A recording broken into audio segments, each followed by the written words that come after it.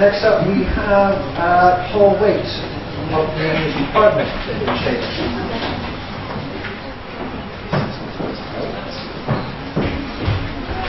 Paul worked in business for many years and left, then left to become a mature student, uh, culminating in entry to the teaching profession. Between careers, he taught TEFL teenagers and HASL to adult refugees and asylum seekers. He is now in his fourth year of teaching and is Key Stage Team Lead English Training School. Evening, this is phone, this is really, I've tried out earlier, I can never get down to two minutes, so happy to go anyway. Uh, have fun, engage students, students are engaged generally if they're having more fun, particularly if they perceive that the rules are being bent a little, hence the uh, song quote. Four simple activities I use in class to engage students sometimes bend the rules. Voki is really good, nice little website, you can go onto the site, you can cut and paste text, introduction to a lesson, and you click on it, thank you sir, and you can create your own Voki. You can add cheesy jokes as you see I've done in the second. you can personalise it, talk about students as they're coming in, they really tend to like it, and as it comes up, sir, it was much quicker when I did it on my PC. it's going to come up now, uh, I might have to cut it a bit short, but if you click on play, Give you 10 click on seconds. play, here we go.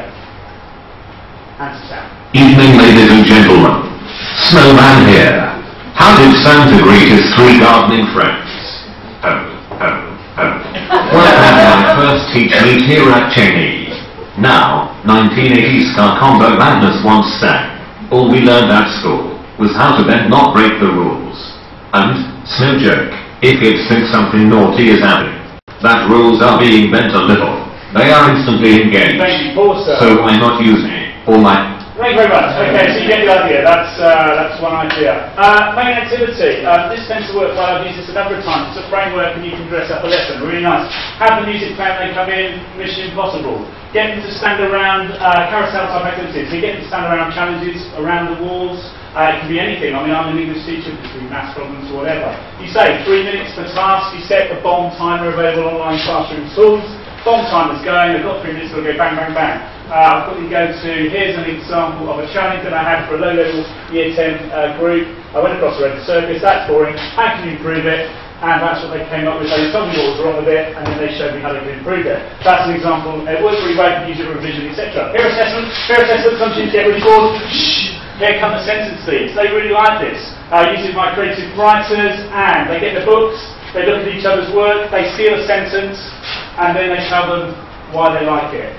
Really interesting, you can create displays from it and you can get them to use their own creative writing piece afterwards based on their uh, stolen sentence. Finally, homework. Homework, uh, poetry scale, uh, this worked really well around the school, so you, a competitive element, people are asked to go out around the school, you can do artwork, do poetry, whatever, and away they go, they create their own piece of poetry. Here's an example, uh, Cheney, uh, that, uh, uh, one uh, from my previous creative writing class, poetry stream, this on paper, there's a maths block, there's your homework. So four ways, uh, really fun, uh, exciting rules. Thank you.